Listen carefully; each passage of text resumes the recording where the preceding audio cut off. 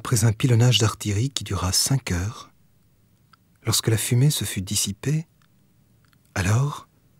en la fin de cet après-midi d'hiver, avec le silence revenu dans les ruines,